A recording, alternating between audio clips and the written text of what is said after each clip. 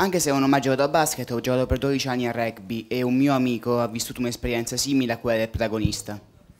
Nel senso che era un grandissimo giocatore di rugby che poteva anche aspirare a livelli molto alti e che in una partita quasi inutile contro una squadra di, lo devo dire, non bravi giocatori, si ruppe il legamento crociato. Io mh, ho perso di vista questa persona e non so bene come si sia risolta la situazione, però sono, sono sicuro di una cosa, che i valori che uno sport come il rugby può insegnare, sicuramente, indipendentemente dai fallimenti o dalle vittorie che questo sport può avere, rimangono dentro. Io volevo sapere se il personaggio, e anche se lei, è stato in qualche modo costruito da questi valori, perché io credo che una cosa di attitudine, volontà e fermezza come uno sport sia costruttiva quasi quanto la scuola, quasi quanto le amicizie, per appunto mi chiedevo quanto siano emersi i valori insegnati da questo sport in questo libro.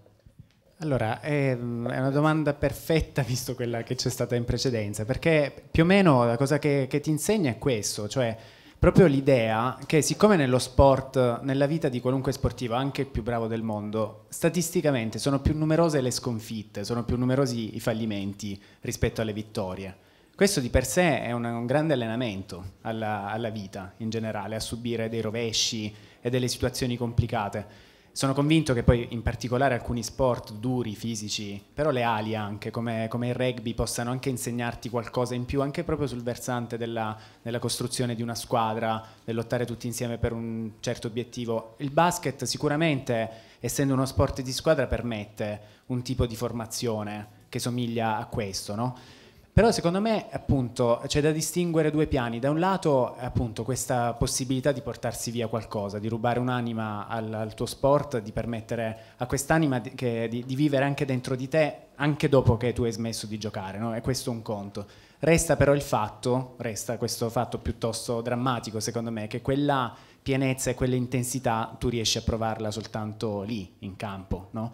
Quindi probabilmente un atteggiamento costruttivo è quello di non dimenticare tutto quello che è successo là e farlo funzionare per altre cose della vita. No?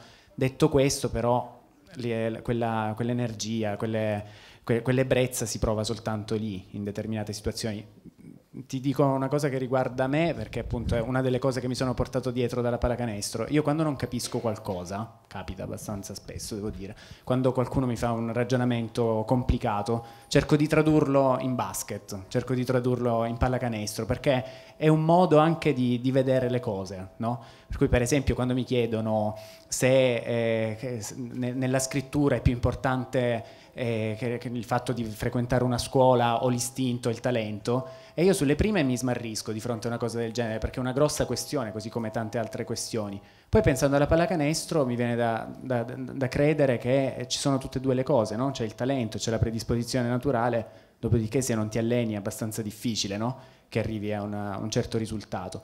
E allora per me è diventato anche un modo di, di, pensare le cose e di trovare certe volte delle soluzioni a problemi che sulle prime non, non riesco bene a mettere a fuoco.